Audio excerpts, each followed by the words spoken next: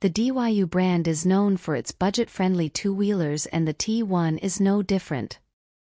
Currently retailing for just $799 on DYU's official website, it makes a pretty strong case for e-bike enthusiast travelers and e-bike enthusiasts alike.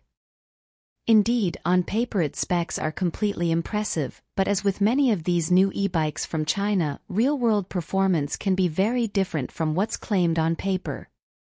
However, the most eye-catching element of the DYU T1 is its frame, which has a unique design and is made of cast magnesium alloy. Because of this magnesium frame, DYU claims a very reasonable weight of 22.5 kilograms, just south of 50 pounds while offering an impressive payload capacity of 120 kilograms 264 pounds. This means it can be very easily folded and carried upstairs, loaded onto a bus or train, or carried in the back of a crossover or SUV.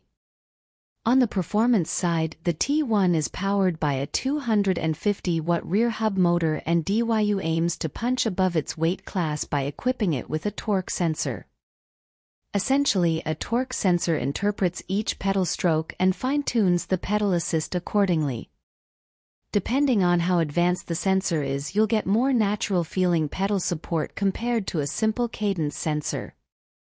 When it comes to battery, the T1 packs a fairly compact 10 amp hour, 36 volt battery pack that's removable for convenient charging. So DYU claims a single charge, pedal assist range of around 34 miles, which is certainly less than other larger e-bikes, but keep in mind that the DYU T1 is intended for urban commuting rather than a sporty touring or mountain bike ride.